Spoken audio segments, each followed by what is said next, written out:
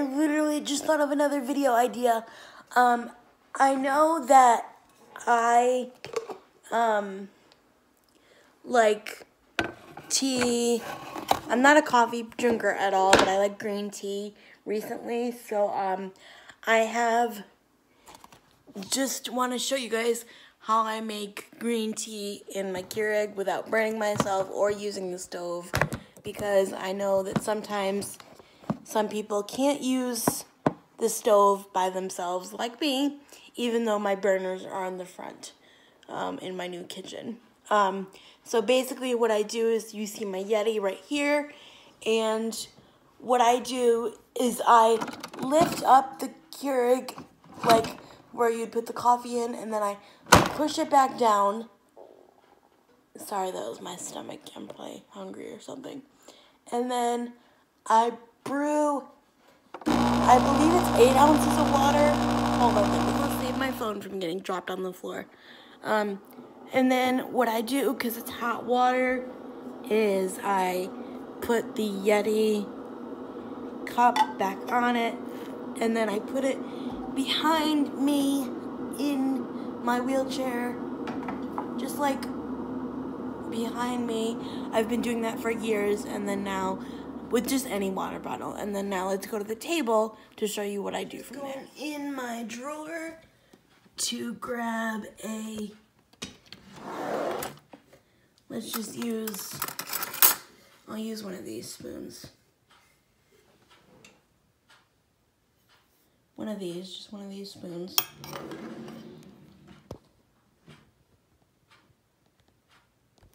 And so we're back at the table.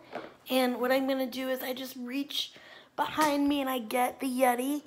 Um, someone got this for me many years ago. And I put stickers on it. Um, the Fry Life stickers. So I use this Yeti probably two or three times a week. And I put water and tea. Lately I've been using it for tea.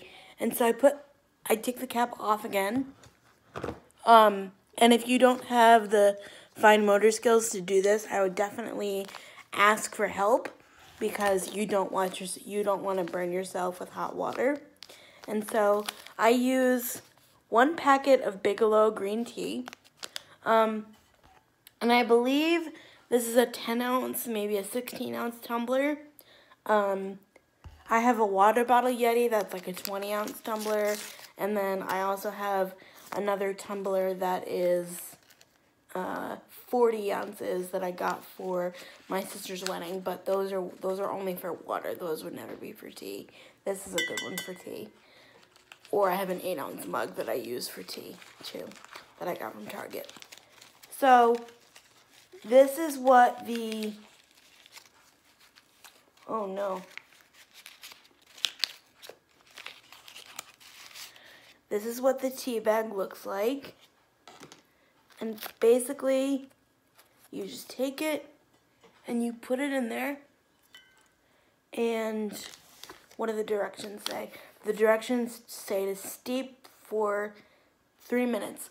Alexa, set a three minute timer. Three minutes, starting now. Okay, and then I'm just gonna clean up my mess as I go along because you don't want the gross tea bag to be on the table. So I'm just going to put the tea and the tea wrapper on the table. And then I use, as my sweetener of choice, I use Truvia sweetener from the stevia leaf. I used two of these. Um, I used one in the beginning, but then it was very, very bitter for me, and it just did not taste good. Um, but that was like back in January when I was drinking tea like every day because winter. But I do it differently now. I use two of them. And I just put them right in there. And then I just stir it around.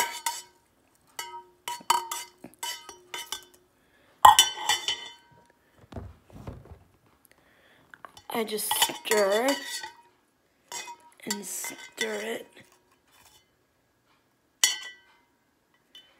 until um, the stirring that is good. And I'm just gonna leave it there for three minutes. And sometimes I take the tea bag and I like dip it up and down. Sometimes I just leave it there. But today I'm just gonna leave it there. So we'll see you when the tea is done. I have 10 seconds left according to Alexa, so I'm just gonna come back. Alexa, stop.